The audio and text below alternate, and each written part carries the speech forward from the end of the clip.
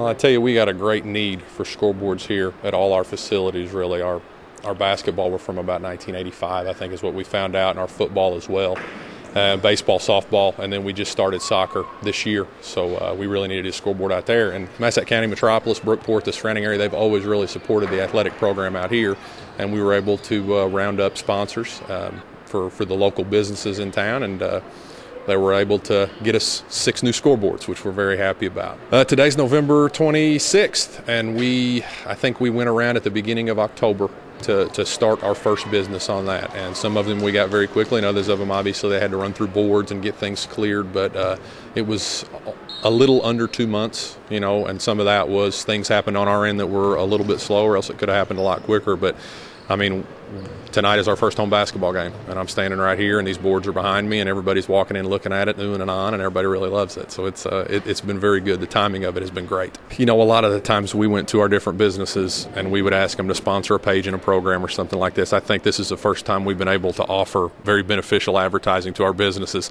It is free to the school. The businesses are the ones that are paying for it, but they're also getting a lot out of it. And I hope that as people see this, they see the people who are supporting the school, and they want to go and spend money at those businesses. And I hope the businesses see something out of that. But Massac County High School has not paid one dollar towards these scoreboards. The community members, community businesses that were already giving towards the school just uh, found a way to kind of funnel that money into something. We, we had a great need for that, and uh, we're actually going to see some of that money in the future as well, which is exciting for our athletic program.